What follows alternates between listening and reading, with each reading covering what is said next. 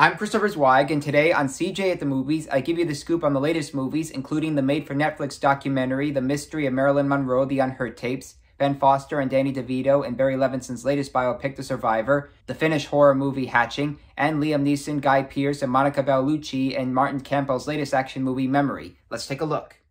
Our first movie is The Mystery of Marilyn Monroe, The Unheard Tapes, which is the made for Netflix documentary about how investigative journalist Anthony Summers was trying to solve the true mystery behind Marilyn Monroe's death while looking back at her movie career and the famous people she crossed paths with. The opening explains that the recordings of Marilyn Monroe are real and the actors are lip syncing those words. Many of us know her story, but not much on the archival recordings, hence the subtitle The Unheard Tapes. Well, I hope your phone is clean. Everything connects in a person's life, particularly hers, you know. The movie wants us to be curious about her death, movies, and spouses. This actress dealt with fame, abuse, and drugs, like most celebrities, which is unimaginable. Parts of the story go on a bit, but still director Emma Cooper and journalist Anthony Summers both want to dig deep inside everything they can provide for us about her, and it's often interesting and scary. Our next movie is The Survivor, the made for HBO movie about Harry Haft, a former Auschwitz prisoner who was forced to fight against other prisoners in the camps. Ben Foster gives one of his best performances in recent memory as Harry, who struggles to adapt to life outside the Holocaust. Harry Haft. I'm a journalist. I covered your fight. I'm interested in your story. Everybody knows my story. I'm the survivor of Auschwitz. You fight until one man can no longer get up.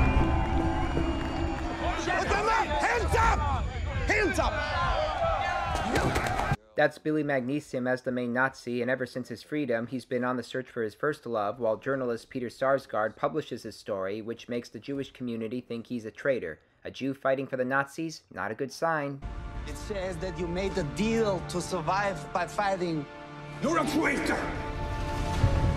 You think Leia's gone? I hope she's alive. And we'll keep looking for her. I have to be famous across America. Enough with the glamour shots, Rita Hayworth.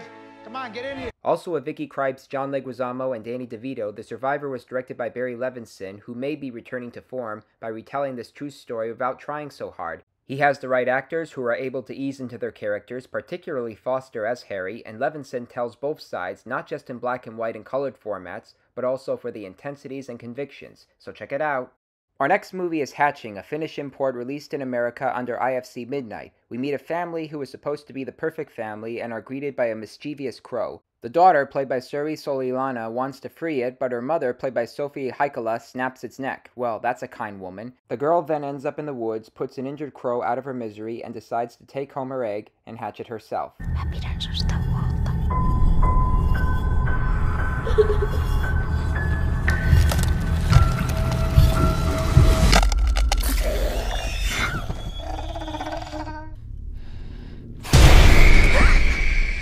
I guess it's not a crow. Ya think? And that's not the only monster in the film. The girl's mother pressures her into competing for the gymnastics competition, and throughout this movie, you hope that creature will punish her or at least give her a personality check.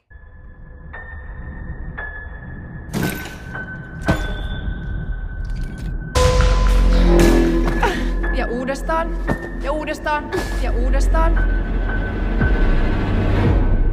Hatching is only formulaic when we have to deal with the little brother in various parts, but in other parts we're amazed at how it's one of the many imports to have a small budget and yet draw us with the creature effects and character studies. It has its own distinctions on good and evil, and it's able to challenge us throughout this experience. If you're into this particular genre, which as the new Scream film calls elevated horror, then check it out. And our last movie is Memory, the latest Liam Neeson action movie remade from the Belgian film The Memory of a Killer, and I must say, I either don't want to pay attention to it or I'll pretty much forget about it. He plays an assassin for hire who is on the verge of having Alzheimer's while refusing to take out his next target, who happens to be the daughter of a sex trafficker. Call the contract off. I don't hurt children, ever.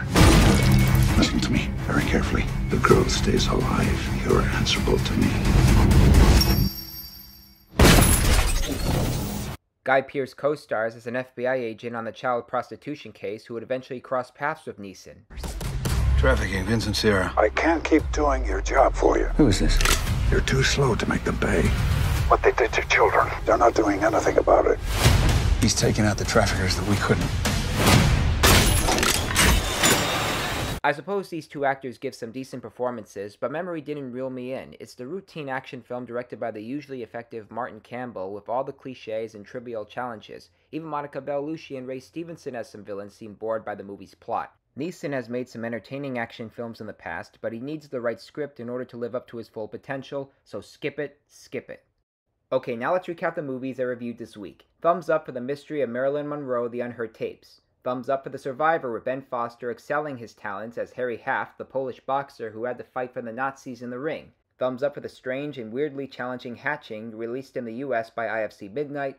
And finally, and I thought I was really enjoying the movies, thumbs down for Memory, the latest boring action picture starring Liam Neeson. Well, those are the movies I'm reviewing this week. I'm Christopher Zweig. Stay safe, and I'll see you at the movies. For more amazing content, please like and subscribe to my channels, and you can also read my reviews at cjatthemovies.com and listen to my podcast reviews at newhdradio.com.